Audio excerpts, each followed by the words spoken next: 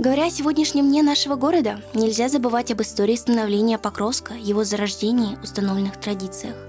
Город Покровск расположен на левом берегу реки Лена, образован в День Покрова Божьей Матери. В старину, на месте, где сейчас расположен город, был караульный пост Тагындархан, и местность называлась Харалтумус – караульный мыс. Харалтумус, переименованный в Покровск, начало его существования уходит корнями в 1682 год. Со временем появилось поселение, затем стала ямщицкой станцией Приленского тракта. В 1850 году в Покровске открыли почтовую станцию, построили типовое здание. В 1895 году Покровск стал властным центром приленских крестьян-ямщиков, объединяющим 20 станций от Табаги до Саны-Ахтаха.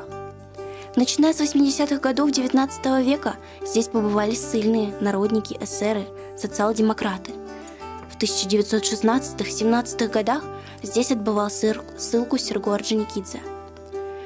Жизнь не стояла на месте, она диктовала, как и везде, создание предприятий и учреждений для удовлетворения повседневных нужд населения – и началось интенсивное строительство. Покровск бурно начал расти с 1931 года после районирования. И в этом же году Покровск стал административным центром Западно-Кангаласского района, который затем на Всеякутском съезде Советов от 3 марта 1937 года об увековечении памяти Орджоникидзе был переименован в Орджоникидзевский район. В год начала Великой Отечественной войны в 1941 году Покровск был преобразован в поселок городского типа или в рабочий поселок. Что такое поселок городского типа? Это тип населенного пункта, в который должно быть только одно главное – градообразующее предприятие. Таким предприятием для Покровска явился кирпичный завод. Кирпичный завод вступил в строй в 1937 году и уже в 1938 году выпускал миллион штук кирпича – Несомненно, было признанием роли и значения молодого кирпичного завода в жизни поселка, как перспективного промышленного предприятия.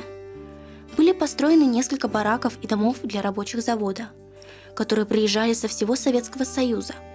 Построили здание военкомата. После войны в нем жили люди, эвакуированные из блокадного Ленинграда.